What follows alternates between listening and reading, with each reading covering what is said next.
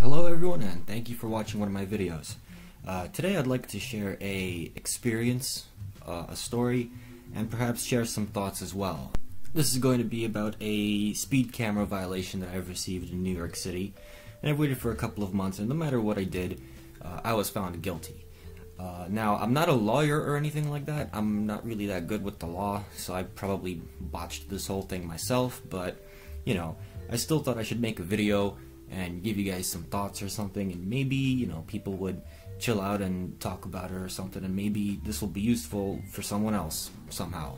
So uh, I'll try to make a table of contents in the video description so that you guys can find uh, which sections uh, are best uh, suited to your interests because I'm gonna try to do this video in sections.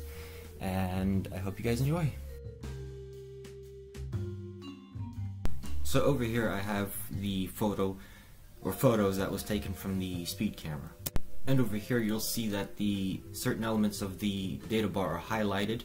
I've got the time in there, which is exactly half a second. Um, they're accusing me of going 40 and a 25, and they're saying I'm in lane 1.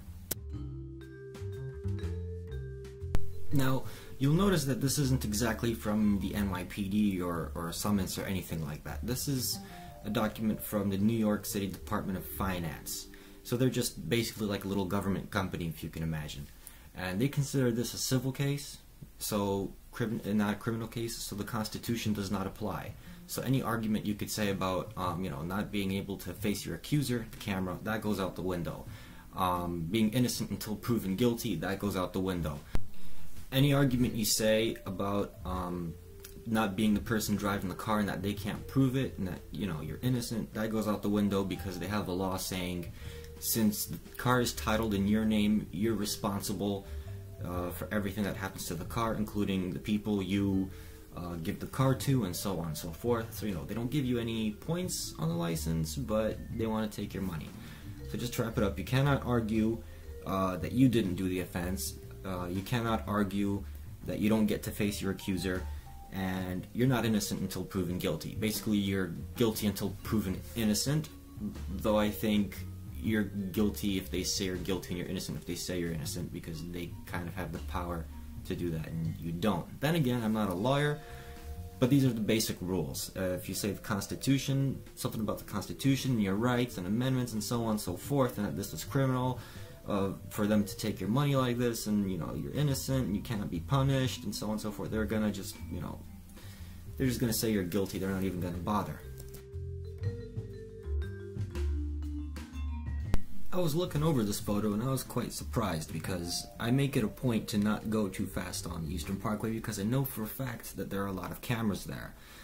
So I was like, you know, how can this be? And then I looked at the lane numbering and just something just seemed off with the photo, and I was convinced that um, that I just wasn't guilty of the offense. That there must have been a mistake. So that's generally what I wrote, uh, how I wrote back to them. I basically said this must be a mistake. If you want to pause the video to read through the entire text in the photo and everything like that, you can do that. But I basically wrote, uh, this must be a mistake. The lane number doesn't add up. Uh, I know for a fact that I don't go that fast, and you know, there's another car in close proximity, and it just so happens to be where logically lane one would be. And I know that these cameras either, speed cameras in general, either rely on like magnetic or electric wires in the ground or operate on like radars or laser or something. But what I was getting at basically was saying that, you know, the camera must have um, not malfunctioned, but it like misfired in some sort of way because maybe it got confused because of the close proximity of the vehicles or something because this just doesn't make sense to me at all. And you know, I wrote them that. So that was my defense. And admittedly, it wasn't a good defense, but that's what I tried.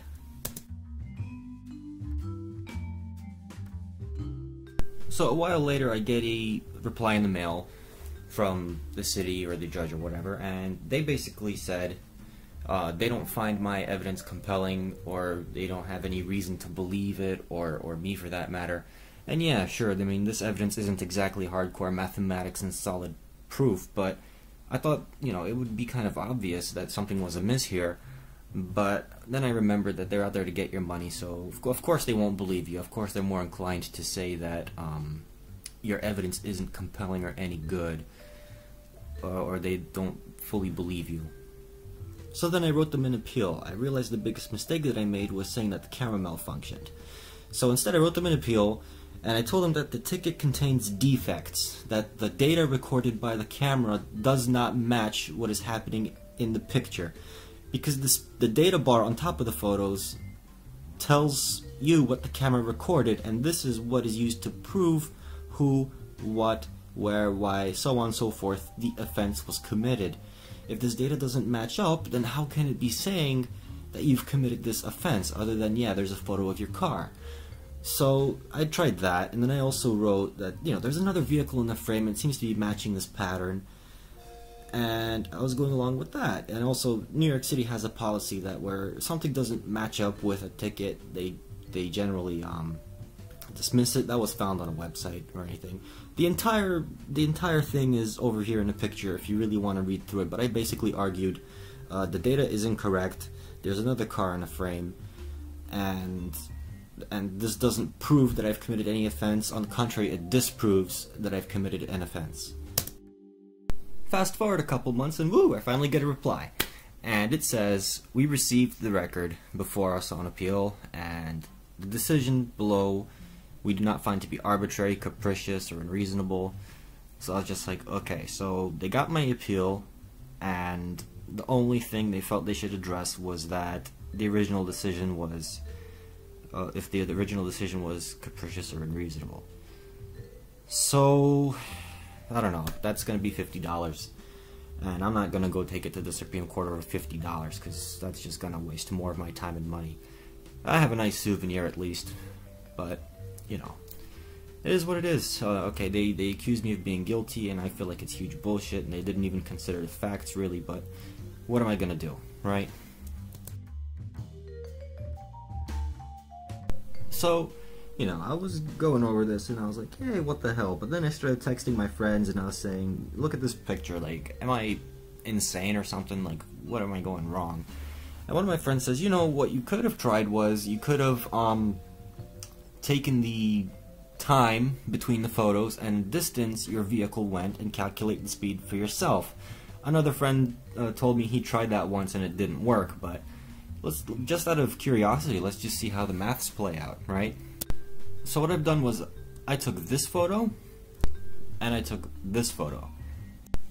And then I overlapped them together on Photoshop. And what you, what you see here is basically, um, you know that the photo has been taken within a half second time frame. And you see my car moving from point A to point B.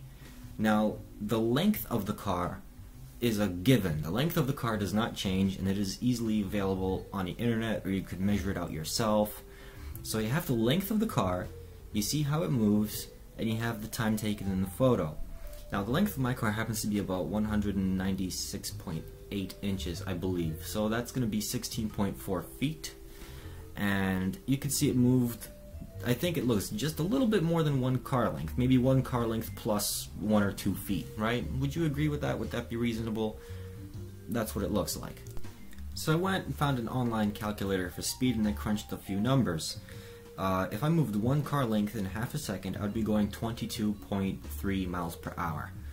If I added an extra foot to that, it would be 23.7 miles per hour, an extra foot, 25.09 miles per hour, and so on. Now the camera doesn't go off unless you go 10 over the limit, which is 35 in this case. But the camera is accusing me of going 40 miles per hour.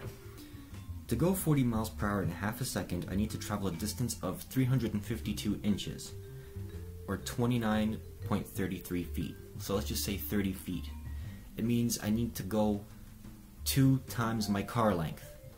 So look at the front of my car in this picture, um, and and then the front of the car in front of that car. I know that's a funny way of saying it, but it looks like I moved one car length and maybe a foot or two, not two car lengths, or almost two car lengths or anything like that. So, you know, that's one way to prove that I wasn't speeding, as a matter of fact. But, you know, I didn't think of that earlier, and I wish I would have. But then, one, but then, one, once again, my friend mentioned that doesn't work. But that's just another possible defense, along with the fact that the lane is labeled as 1, even though I think my car is in lane 2. And, you know, there's another car in frame, and so on.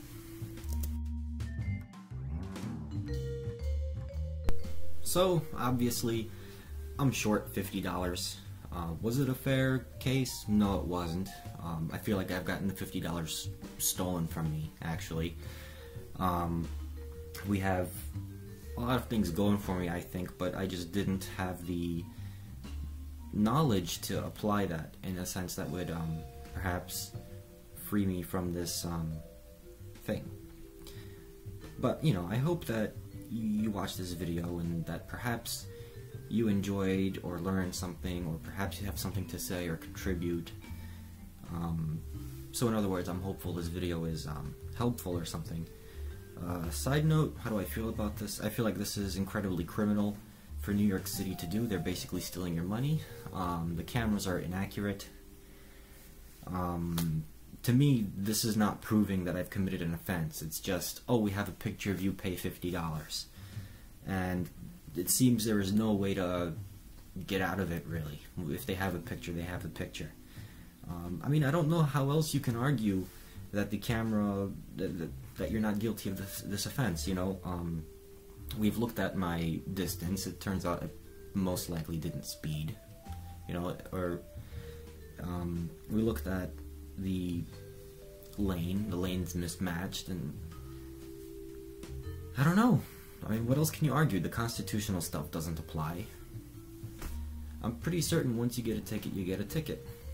Side note, it would be helpful if they painted a scale onto the pavement so that you could prove or disprove whether or not you were guilty. These cameras are just inaccurate, and they are something. This was false, I think. I feel cheated out of my money. Um, if you guys think differently, please let me know in the comments. And, you know, this is very stupid and criminal, and I hope that there's an end to it soon. That, so that something happens to re remove these cameras, or perhaps make them more fair for motorists, uh, such as including a scale on the side, or making a sign for it or something. Because I'm just I'm just mind blown by how ignorant and and dumb the whole process was, and how difficult it is, and how stubborn these people are. I just don't know. I'm not mad about it. I'm gonna pay the fine. I, I think this is actually kind of funny. But it's better to have $50 than to not have $50. And I feel like this was the silliest way to lose $50. Especially since I am certain that I wasn't speeding. Because I never speed there. So I don't know. I hope this video was helpful. Let me know what you guys think. And thank you so much for watching. And have a good day.